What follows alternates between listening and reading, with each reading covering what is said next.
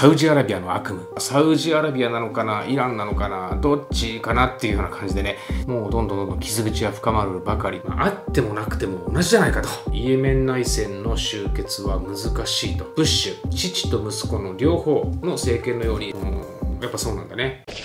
こんにちは、カズです。越境3.0ということで今日も始まりました。越境3.0チャンネル。本日もどうぞよろしくお願いします。6月の26日、神戸でセミナーを行います。フラット化する世界というテーマで最近の中東情勢からそこに関わる世界のいろんな情勢を皆さんにお伝えしていきたいと思います。残席わずかとなっておりますので、ぜひお早めにお申し込みください。詳細とお申し込みは説明欄のリンクの方からお申し込みください。6月の26日、神戸です。皆さん、会いに来てください。よろしくお願いします。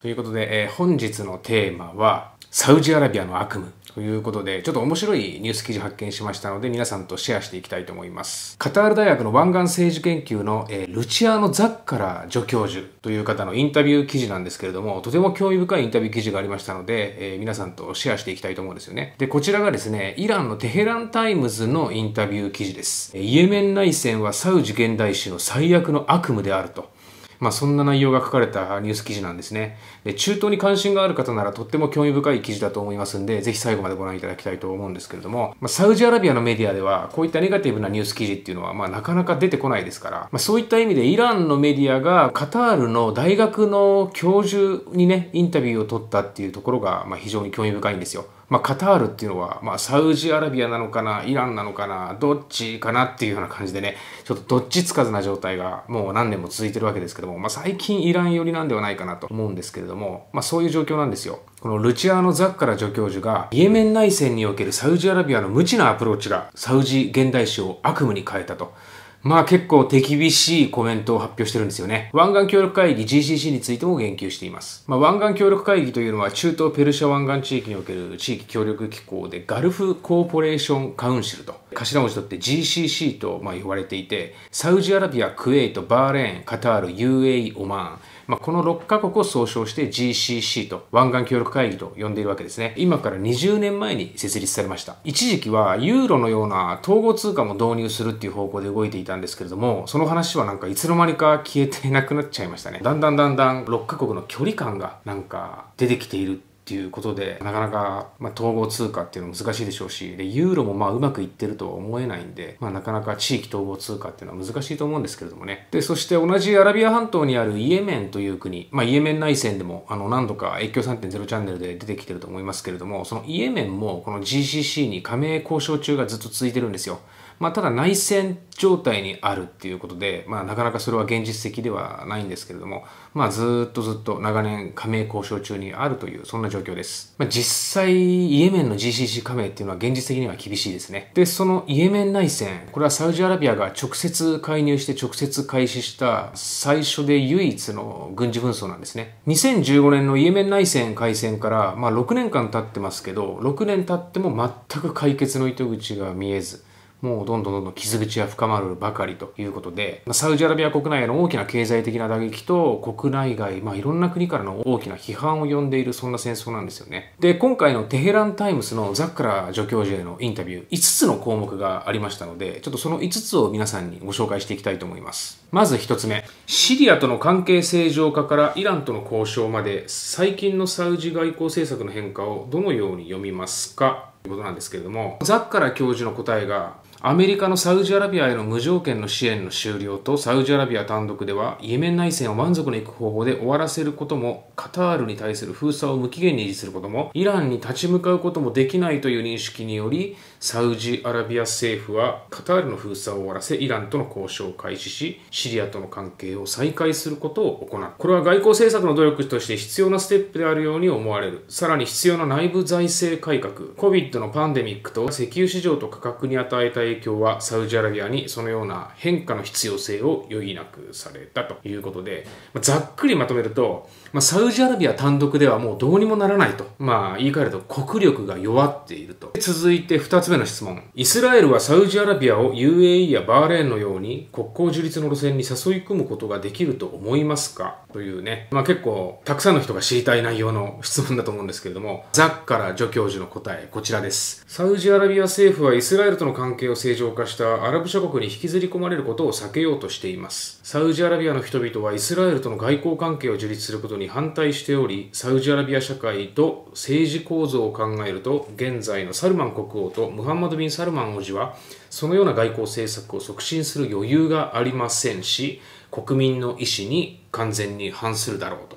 さらにトランプ政権は大統領再生を目的とした政策戦略として、できるだけ多くのアラブ諸国をイスラエルと正常化させることに固執していましたが、バイデン就任後はそのような政策はあまり考えていませんと。これもまとめると、イスラエルとの国交樹立は難しいと。サウジアラビアとイスラエルとの国交樹立は難しいということなんですよね。あのー、一時期の去年の年末あたりのニュースだと、まあ、サウジアラビアも交渉を開始するのではないかと。ただサウジアラビア国内でサルマン国王とムハンマド皇太子の意見が割れているっていうことがね、アルジャジーラで報道されていましたよね。で、それが、まあ、サルマン国王の考え方っていうのが踏襲されるような形なんでしょうかね。イスラエルとの国交樹立は難しいのではないかということなんですね。続いて3つ目の質問。湾岸協力会議 GCC の将来をどのように見ていますか？カタールに対する封鎖、2017から2020。あの、カタールというのは、えサウジ、UAE、バーレーン、で、そしてエジプト。この4カ国に国交断絶をされていたんですよね。2017年から2020年。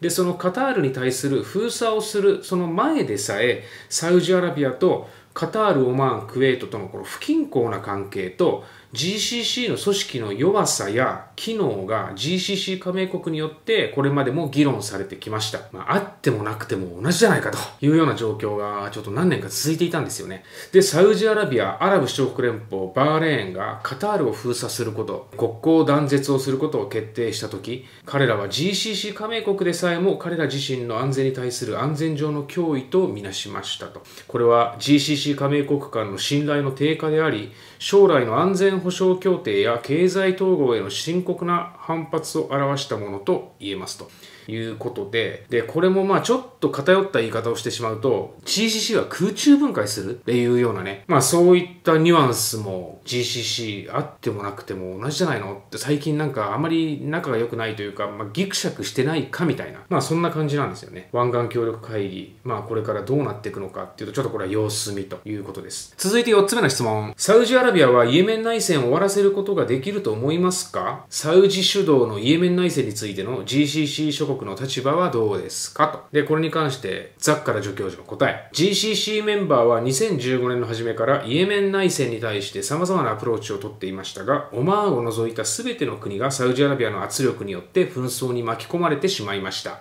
カタールは2017年に GCC を去り、サウジアラビアの介入に矛盾を唱えました。イエメン内戦に深く関わったが、サウジアラビアとは異なる意見を持っていた唯一の国は UAE でした。イエメン内戦はサウジアラビア政府主導の戦争であって、GCC 全体からの統一アプローチの欠如は、戦争をサウジアラビア近代史の最悪の悪夢に変えました。イエメン内戦はサウジアラビアが直接開始し主導した最初で唯一の軍事紛争であり、6年後にも解決されず、深刻な経済的困難と国内外の批判を引き起こしました。軍事的解決はこれまでのところ達成するのが難しいように思われますということで、まあ、これをまとめるとイエメン内戦の終結は難しいとこれ国際社会が何とかして介入していかないとこの内戦の終結は難しいのではないかということをザッカラ助教授は答えていますね。で、続いて5つ目の質問。これもちょっと皆さん気になる内容じゃないでしょうかね。バイデン政権はサウジアラビアに人権の取り組みを強化するよう真の圧力をかけると思いますか？米国とサウジの関係の性質を決定するものは何ですかと、そんな質問なんですけれども、これに対するザッカラ助教授の回答がこちら。サウジアラビアとアメリカの関係は歴史的に戦略的経済的要因によって決定されてきました。トランプ政権のように経済的なものがより重要だった時期もあればブッシュ父と息子の両方の政権のように戦略的または政治的なものがより決定的だった時期もありました。バイデンはオバマ大統領時代のサウジアラビアへのアプローチをする傾向があるようですと。うんやっぱそうなんだね。主にイエメン内戦に関しての人権には言及されていますが、サウジアラビア王国内の人権状況には焦点が当てられているようには見えません。少なくともバイデンは最初の1年間、任期の初めから二国間関係を損なうような内部問題を提起することは避けようとしていますということで、えー、これもね、まあちょっと一つまとめると、アメリカとサウジの関係が希薄化しているというようなことが、まあ、言えるんじゃないでしょうかね。まあ、人権問題に関してはね、イエメン内戦に関しては言及しているけど、サウジアラビア王国の人権問題に関しては、バイデンは言及していないと、まあ、いうような状況で、まあ、サウジとアメリカの今後の関係もどうなっていくんだろうっていう感じなんですよね。まあ、5つまとめると、えー、ザッカラ助教授が考えるサウジアラビア、こんな感じ、えー、単独ではどうにもならない。国力が弱っている。イスラエルとの国交樹立は難しい。GCC は空中分解するクエスチョンマークですね。で、そしてイエメン内戦の終結は難しい。でそしてアメリカとの関係、希薄化。こんな状況がカタール大学湾岸政治研究科のルチアーノ・ザッカラ助教授へのインタビュー発表されていました、えー、ちょっと興味深い記事だったので皆さんとシェアしたくて今回この動画を撮らせていただきました。なんか混迷の中東って感じですけれども今後どうなっていくんでしょうね。まあでも単独ではどうにもならないと、まあ、考えているサウジアラビアが、まあ、イランとかと話し合いを進めていくっていう方向であれば、まあ、イエメン内戦も同時に、ま、解決に向かうんじゃないかなと思うんですよね。まそういった方向に動いてくれば、ちょっと中東情勢にも変化の兆しがいい方向に見られるんではないかなと思います。越境3.0チャンネルではこういった世界の情報をお届けしております。毎日夜8時に更新しています。世界の情報をもっと知りたいなと思った方は、ぜひチャンネル登録いただけると嬉しいです。本日も最後までご覧いただいてありがとうございました。せーの、Here we go!